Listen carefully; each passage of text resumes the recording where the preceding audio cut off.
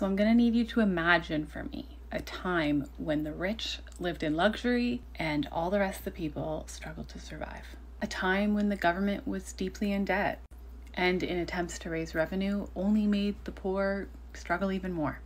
This was the state of France in the decades leading up to the French Revolution in 1789.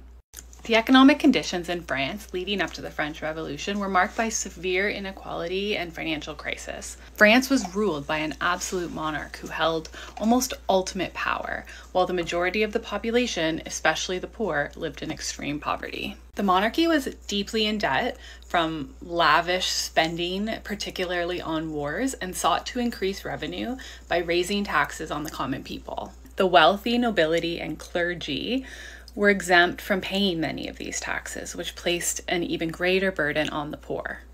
This unequal economic system was a major factor in the outbreak of the revolution, as it fueled resentment and anger amongst the lower classes who were struggling to make ends meet. The revolutionaries called for a more equal distribution of wealth and power, as well as greater opportunities for social mobility. The revolution was sparked by a number of factors, but one of the most significant was the idea of enlightenment, which challenged the traditional authority of the monarchy and called for greater rights and freedoms for all people.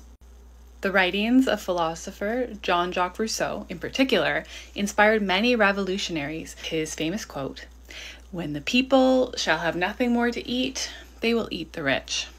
In 1789, the people of Paris rose up against the monarchy, storming the Bastille, a symbol of royal power, and beginning a wave of revolution that quickly spread throughout the country. The revolutionaries formed a new government, the National Assembly, and began implementing sweeping reforms, including the Declaration of the Rights of Man and Citizen, which guaranteed basic rights and freedoms to all citizens. The revolution paved the way for the rise of democracy and the idea of popular sovereignty, or the idea that power comes from the people. It also inspired other revolutionary movements, such as the American Revolution, and it helped to spread the ideas of equality, liberty, and fraternity. And TikTok took away my 10 minute video feature, so I'm gonna, in part two, talk about the parallels between French Revolution France and today. Eat the rich.